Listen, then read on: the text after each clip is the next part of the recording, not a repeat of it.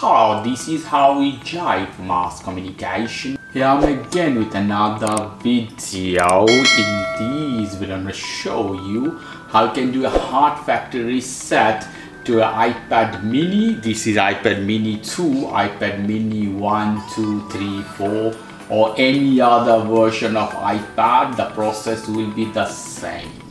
In this case, you have to unlock your tablet now in this case you have to find this option. It's called setting. Go inside the setting option. In setting you will have many options. This side. In this side you have to find this option. It's called general. Go inside that. In general you'll have many options you have to go to the last option here. You have shutdown and reset. Go inside reset option. And after that you have to see here all this option here you have reset all setting first one erase all content. So the second one erase all content is hard factory reset. Hit that one.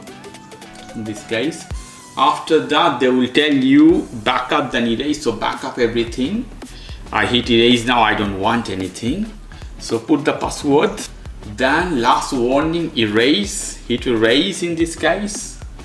One more warning erase. Let's see password of your Apple ID they're asking after putting the password you can see Apple logo there. And the tablet is restarting in this case. Now you can see here it says hello.